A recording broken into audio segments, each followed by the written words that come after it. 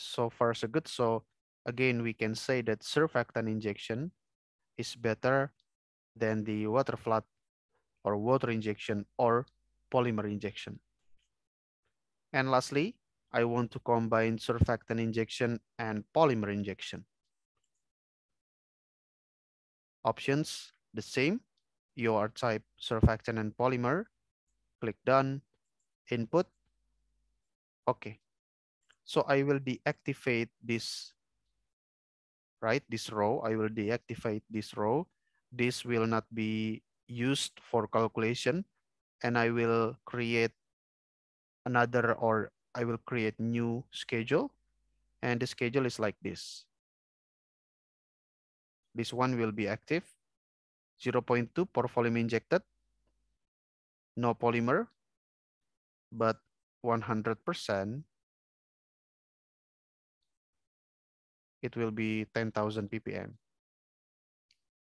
Whereas for the surfactant, the active schedule, the one that I will run, 60 or 0.2, surfactant concentration 50,000 ppm at 100 it is zero. Okay. So this is the surfactant and polymer injection the same for the EOR input click done run simulation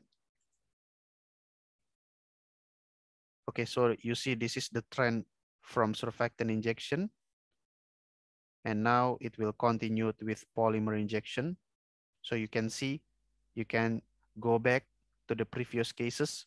Polymer injection, the plot will be like this. Okay. Whereas for the surfactant injection, the plot will be like this. So by combining or performing the surfactant and polymer injection in series, we will get this one. Okay. But you can see in this case, the recovery factor, we can say doesn't change actually with the same time, 2018. Okay. Finish calculation result. Plot. Okay. The water cut, the, the water cut trend shape changes. Okay. But at the end of the day, what we will expect is, of course, the recovery factor. And the recovery factor is the same at 84%. Okay, check again, go down 83.4% at 2018. Okay, so this is the result that we will get for our configuration. But of course, you can modify the EOR schedule. Okay, so for example,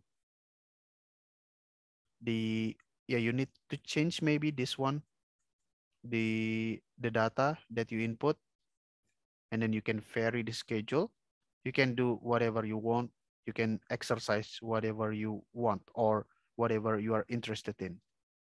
Okay? So i think we can call it a day. That's all. I hope you enjoyed the video.